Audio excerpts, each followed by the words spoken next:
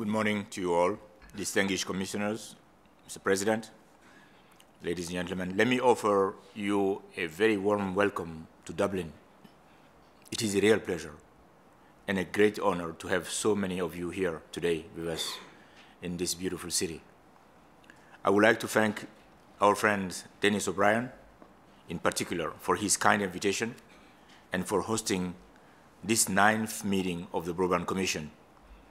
Your generous Irish hospitality this weekend has been absolutely tremendous.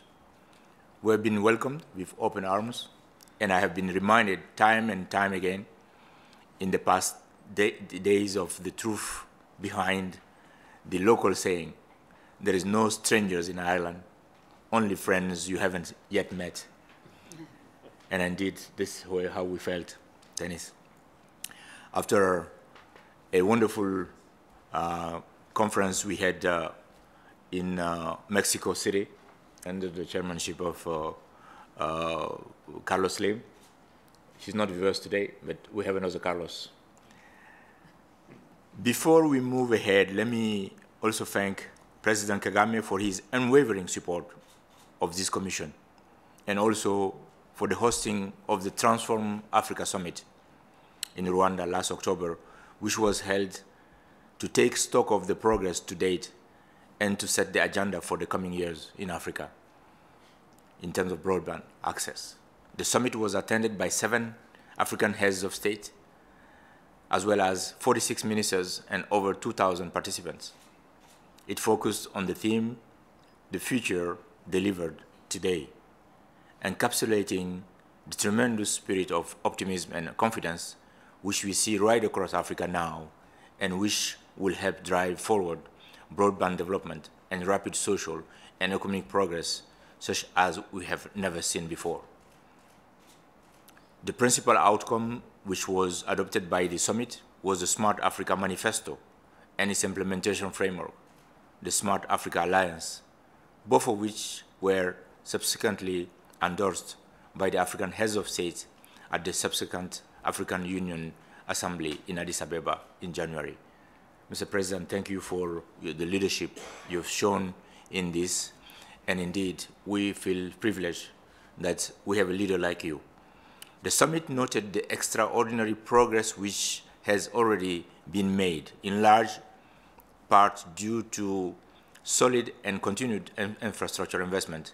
It was also therefore very pleased, I was very, uh, therefore very pleased uh, to see that we were able to have the first physical meeting of the Broadband Commission's working group on finance and investment here in Dublin yesterday afternoon.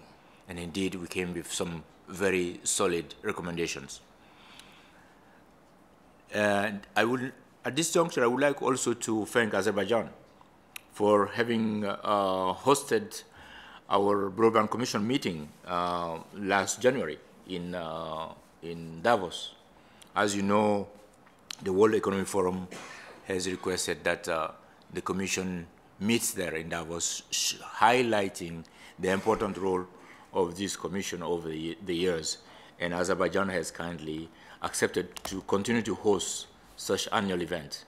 And the next uh, of this, uh, you, you have, uh, the, there is a little brochure uh, that uh, highlights the key results of that Broadband Commission meeting in Davos, uh, and I, indeed I would like you to invite you to all to take a look at it, and invite you also for the next uh, meeting, which will be January 22nd, I believe, in, in Davos again.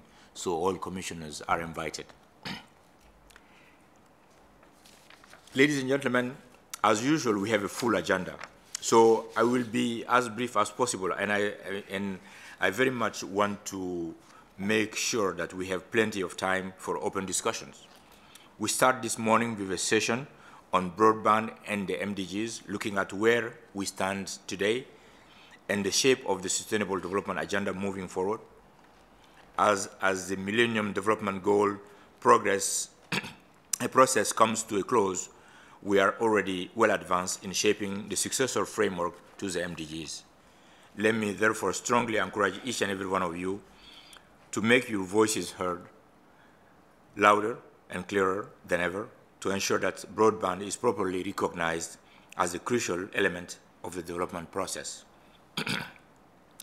During the second morning session, we'll be looking at the changing role of telecom operators and content providers, and I'm confident that there will be a challenging and stimulating discussion on this topic as we have representatives from all stakeholders here in this room. After lunch, our third subs substantive session will look at challenges and solutions for rural broadband, a subject which is close to my own heart and close to the hearts of many of you here today. We will then have time for an open and interactive dialogue between commissioners on the conclusions from the three main sessions today, as well as looking at key priorities for the work of the Commission going forward. I would like to hear your suggestions for the future activities of the Commission, and of course, we will need to have a discussion on the resources needed to implement these activities. Distinguished Commissioners, let me remind ourselves that the goal of the Commission is to accelerate the MDGs. We have six months before our September meeting in New York. Over these next six months, let us intensify our efforts in making sure that broadband continues to drive real progress toward meeting the Millennium Development Goals and is fully recognized as an integral part of the future Sustainable Development Framework. We must amplify the volume of our messaging and speak out at every available opportunity. We have done a great job, but there is still so much more, so much more that we can do together. So let me conclude here by encouraging everyone to keep up the momentum, raise the volume, and shape the, future, the broadband future.